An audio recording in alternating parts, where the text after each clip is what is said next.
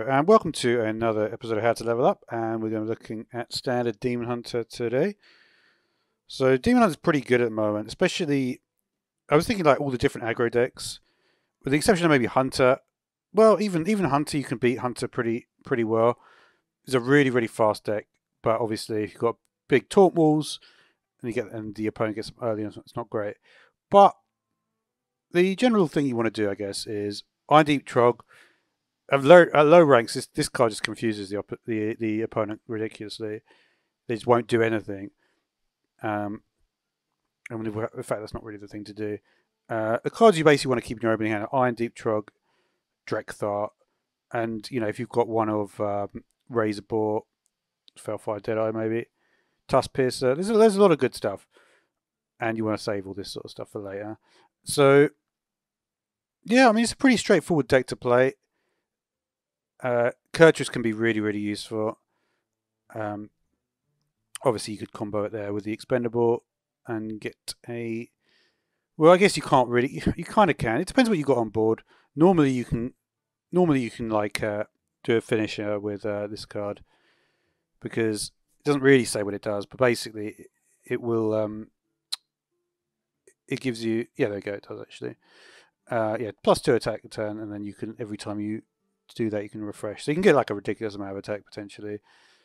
Like, uh, I'm trying to think, what could you get? Like, if there were seven minions on board already, I guess you could, yeah, we could do it like what eight times? I guess so. So it'll get you 16 attack. It's very unlikely you get that situation, but it is possible. Uh, you would actually get even more if you had like a weapon, but um, but yeah, this is pretty useful. Good for getting stealth minions out. And yeah, in general, if you know the game's going to be really fast, you can just do that on face just before they play something. Which is, you know, if you don't, if quite, if you, if you just think I'm just going to ignore the minions, you just play that.